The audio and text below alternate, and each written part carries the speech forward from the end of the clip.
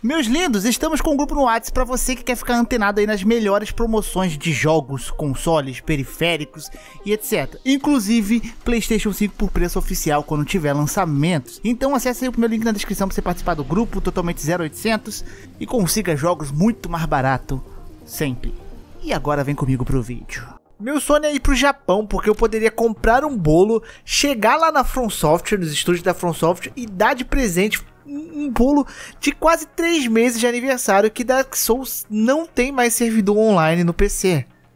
E para piorar tudo, estou fazendo esse vídeo porque simplesmente todos os Dark Souls da Steam, eles tiveram a tag de multiplayer removida. Ou seja, agora eles são listados como jogos puramente single player e não mais multiplayers. Isso está deixando os fãs um tanto nervosos, chateados e até preocupados. Vamos comentar um pouco sobre isso aqui, né? Falar sobre essa preocupação e será que de fato os servidores de Dark Souls vão voltar e o quão ruim isso é para From Software? Vamos falar disso aqui. Antes de começar o vídeo, esqueça seu like, se inscrever no canal, puxa o banquinho e vem comigo pro vídeo. Então, né? Se vocês não sabem, lá em janeiro, é, teve um cara que descobriu uma falha muito grave através dos servidores ali da From Software, através do multiplayer de Dark Souls.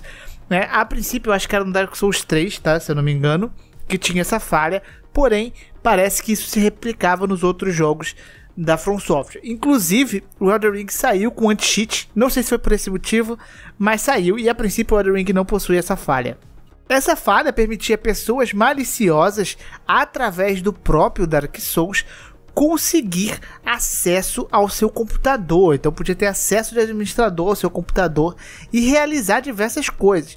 Os caras que testaram isso, que mostraram como isso funcionava, faziam umas brincadeirinhas, tipo, acho que trocava papel de parede, era uma paradinha boba assim, né? Escrevia mensagens no computador zoando o cara, nada muito grave, mas óbvio que esse acesso mostrava que isso poderia ser usado para roubar informações, uma, uma, parada muito, muito sinistra e que daria uma dor de cabeça absurda para From Software se isso ficasse ligado, né? E ela provavelmente responderia caso alguém perdesse dados bancários, essas coisas, que é algo bem sensível, né? Bem complicado, ainda mais arquivos pessoais, etc.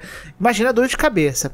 Então a FromSoft chegou lá e anunciou que iam fechar os servidores, tá? Para poder tentar resolver esse problema.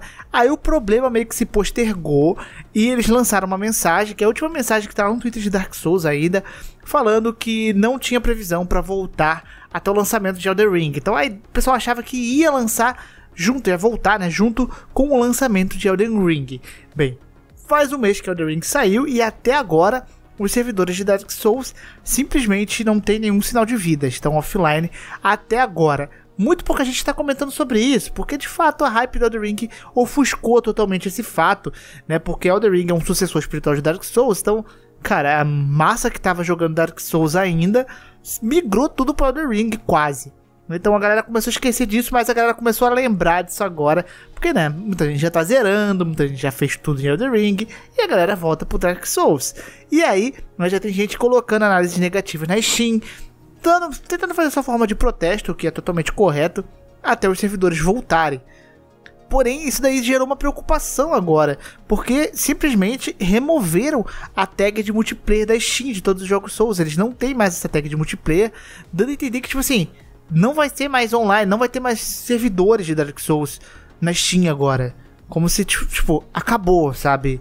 O que é muito bizarro. Vale lembrar que eu tava lendo os comentários e um cara falou que aconteceu algo muito semelhante com Little Big Planet. Parece que o jogo ficou algum tempo offline devido a problemas nos servidores e quando voltou, entre aspas, eles voltaram anunciando que iam fechar o servidor. Então a galera ficou um pouco preocupada em relação a isso e que está acontecendo com Dark Souls né? É bem, bem ruim mesmo. Eu fico na dúvida, porque será que realmente esse problema é tão grande a nível de ter que fechar o Dark Souls? Ou será que é um problema um tanto chato de se resolver? E eles estão bem preocupados com o lançamento de Elden Ring, que tem muitas coisinhas que eles acabam tendo que fazer, updates, e provavelmente eles estão desenvolvendo um outro jogo em paralelo. A FromSoft sempre desenvolve dois jogos assim, e acaba que não teve tempo de alocar pessoas para resolver esse problema de Dark Souls, né? Não sei, é bem estranho porque a princípio essa falha foi é, solucionada em Elder Ring. Então por que, que não solucionaram nos outros jogos, sendo que elas são a mesma engine, sabe? Não sei, não faz muito sentido. Não sei se eles estão fazendo isso, essa demora é um planejamento para lançar um update, né? Pensando num cenário positivo agora. É um lançamento, um, um, preparação toda que eles estão fazendo para adaptar o jogo a um anti-cheat, assim como é o Elden Ring. E aí tudo bem. Mas também tem essa preocupação de que eles estão simplesmente abandonando os servidores de Dark Souls. Isso é bem ruim. Ah, muita gente vai migrar agora pro Elden Ring, vai jogar o Elden Ring. Só que a gente precisa lembrar de uma coisa: uma hora a galera vai enjoar de Elden Ring e vai jogar os outros Souls. Não é desculpa para fechar os outros servidores de Dark Souls, né? Porque se fosse assim, pô, lançou Dark Souls 2, fecha um. Não é, não é pra acontecer isso, tá? Então tem que resolver esse problema, cara. É bem bizarro. Eu fiquei pensando também se a From Software não deu uma despertinha e falou: vamos postergar, que aí a galera se anima a jogar mais o Elden Ring. E depois a gente volta com os servidores, né? E aí tem uma malícia, se se for essa malícia, é bem sacanagem da From Software, né? De fazer a galera querer meio que desistir do Dark Souls porque não tá online, não tem PVP e comprar o Elder Ring. Eu acho que não tem necessidade disso, porque a grande maioria que joga Dark Souls em PVP direto, cara, muito difícil no que não foi pro Elder Ring, eu acho muito difícil ter, não ter acontecido. E tem mais um pequeno detalhe ainda, né? A galera que tá jogando Elden Ring, muita gente mesmo, é o primeiro Souls da pessoa. Então muita gente tá curtindo Elden Ring e agora tá zerando, tá patinando, tá se sentindo satisfeita com o jogo. Agora vai falar, pô, vou ver os outros Souls, né? E, pô, no Elden Ring pô, pude invocar pessoas para me ajudar, pude fazer um PVPzinho. Aí o cara vai lá, todo pomposo, joga Dark Souls, no caso do PC, Chega lá e tcharam, não tem nada online, não tem ninguém para ajudar. O cara vai ficar chateado, o cara vai ficar irritado com o jogo e com razão, porque o cara comprou o jogo e não tem o online. Então, né, basicamente isso que tá acontecendo, cara. Vão fazer três meses, né? Final de abril faz três meses que os servidores de Dark Souls aí estão offline no PC, tá? Sem nenhum update da From Software de que estamos resolvendo, de previsão previsto para talvez meados de, por exemplo, dá uma previsão, né? Não tem essa previsão. E agora essa remoção das tags multiplayer é muito esquisita e gera muito medo por parte dos fãs, cara.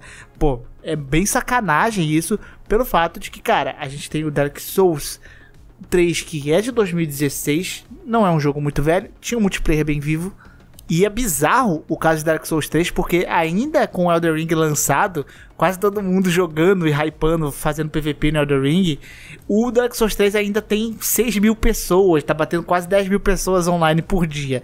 Então tem muita gente jogando ainda, então tem muita gente potencial querendo usar os servidores. O Dark Souls Remastered, por exemplo, é de 2018, é um jogo extremamente recente. Tem público, tudo bem que o Remastered é bem mais caidinho, né, que o 3, por exemplo, mas tem muito público ainda, então é meio injustificável derrubar assim os servidores e acabar com eles para sempre. Enfim, né? Vamos torcer para ser o ponto positivo. Eles estão implementando ali um anti-cheat pro jogo para evitar esse problema, assim como o Elden Ring, e não que vão deletar os servidores.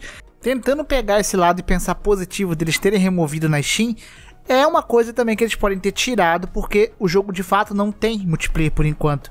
Então eles tiram, porque muita gente pode comprar enganada achando que tem um multiplayer e não tem.